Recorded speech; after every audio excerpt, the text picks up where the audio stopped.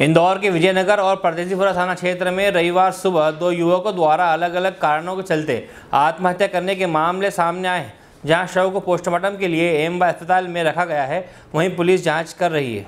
Vijayanagar police से मिली जानकारी के अनुसार विजयनगर थाना क्षेत्र के बर्फानी धाम इलाके में रहने वाले तैतीस वर्षीय सुनील यादव ने फांसी लगाकर घर में आत्महत्या कर ली, जहाँ युवक ने फांसी पर लटकता देखा और मौके पर मौजूद परिजनों ने पुलिस को सूचना दी। पुलिस ने मौके पर पहुंचकर मर्ग कायम किया और शव को पोस्टमार्टम के लिए एमवाई अस्पताल भेज दिया गया। विजयनगर पुलिस के अनुसार सुशील के पास से एक सुसाइड नोट बरामद हुआ है, जिसमें उसने ज़िंदगी से परेशान होने की बात लिखी है। वहीं सूत्रों के अनुसार सुनील अपने पीछे भरा पूरा परिवार छोड़ गया है, उस पर एक लाख रुपये से अधिक का कर्ज बताया जा रहा है। संभवतः इसी कारण आत्महत्या करने की बात सामने आई है। इस मामले में पुलिस विजयनगर की जाँच कर रही है। इसी प्रकार परदेसीपुरा थाना क्षेत्र में रोहित नामक युवक की आत्महत्या करने की सूचना मिली जहाँ पुलिस ने मौके पर पहुंचकर शव को बरामद किया है। उसे पोस्टमार्टम के लिए एमवाई अस्पताल भेजा गया है। मामले में पुलिस ने बताया कि रोहित किसी बात को लेकर डिप्रेशन में था जहाँ संभवतः दिमागी संतुलन बिगड़ने के कारण उसने कदम उठाया है। इंदौर से ब्यूरो राकेश सच्चर के साथ सतीश शर्मा की रिपोर्ट।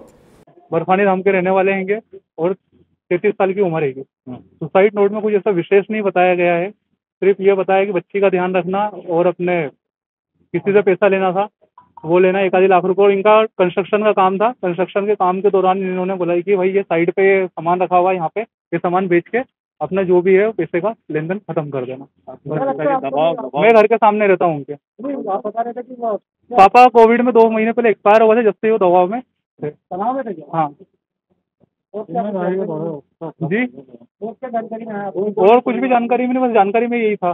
परिवार में कौन है परिवार में आ, इनकी मम्मी है वाइफ है पाँच साल की बच्ची है एक सिस्टर है और एक सिस्टर की शादी हो गई है तो उनकी भी बच्ची है। क्या उम्र है इनकी? उनकी उम्र थर्टी थ्री क्या नाम है सुशील यादव। आपका नाम बता रोहित यादव। बर्फानी नाम बर्फानी ये बर्फानी। नगर में आज सुबह नौ बजे से आपको सूचना आई कि एक लड़के रोहित नाम के लड़के ने घर में फांसी लगा लिया पंचे से। नहीं, ऐसा कोई सुसाइड नहीं मिला है। कारण